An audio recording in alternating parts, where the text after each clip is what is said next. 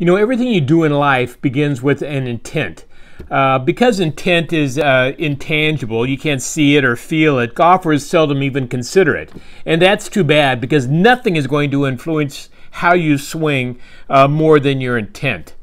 Uh, for example, when I give playing lessons, uh, let's say I'm giving a playing lesson to a guy on the uh, on the 12th tee at Goose Creek, a par 5, has OB going down the right side of the fairway. And he, he sits up and he hits the ball out of bounds. And I'll always ask, what were you thinking? What was your intent?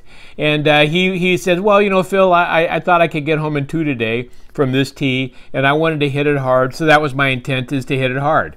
And I said, well, that's great. You know, you did hit it hard. You hit it, you know, 30 yards out of bounds, but you swung hard. That was your intent, and you did it. Your body did it. Your body responded to your intent. I mean, your intent wasn't A to B. It wasn't aimed on the left side of the fairway, just to the right side of that sand trap. Your intent was just swing hard. If the same golfer is playing 18 that day on at uh, Goose Creek, and it's a, it's a long par four with water bordering the right side of the fairway, and he gets up and he hits the ball well into the water. Again, I ask him, What was your intent? What were you thinking? And he says, My intent was positive that time.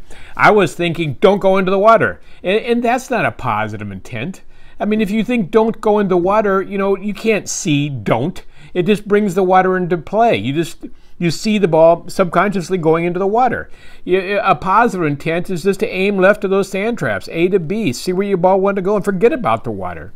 You know, the other day I was uh, giving a lesson on the to a, a, lady golfer, a good golfer, and uh, her her she was had a nine iron over the over a sand trap onto the green, and uh, she made a bad swing. You know, she hit fat and hit the ground first, and dribbled about uh, 80 yards. And I asked her, uh, you know, what were you thinking? What was your intent?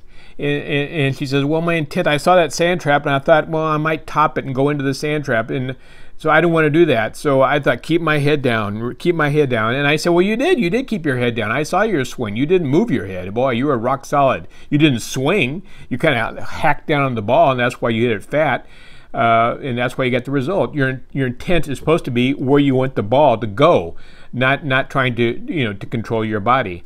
Even on the uh, a putting green, uh, you know, a, a, a, player will have like a three foot putt, and they'll miss it, and they'll be frustrated. And I'll ask them, "What were you thinking before that putt? What was your intent before that putt?"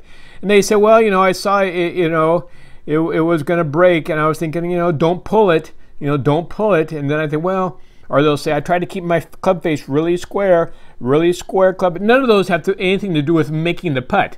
You know, Nicklaus said, I never missed a putt in my mind, ever. I always saw the ball go in the hole. Uh, so even on the putting green, uh, you know, you, the, you can let your, your mind can wander and you can have a, an unproductive uh, intent. You know, intent, it, it's so, it, it's very, very powerful and, and uh, golfers use it in a, a detrimental way. Uh, instead, uh, it, it, makes the game far more difficult than it really is.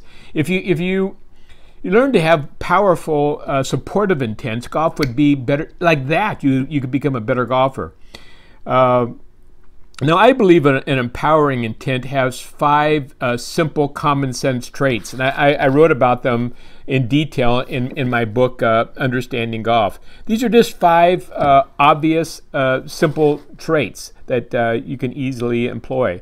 First of all, uh, an empowering intent is always externally focused. You know, you're you can't be thinking about your body. You're playing golf now. You want to think about your body. You can do that on the practice tee. You've got to play with what you got. So your intent is always where you want the ball to go, A to B. You've got to trust now. You've got to trust what you got. Your body knows how to how to create this play. So it has to be externally focused. Secondly, your your intent has to be positive.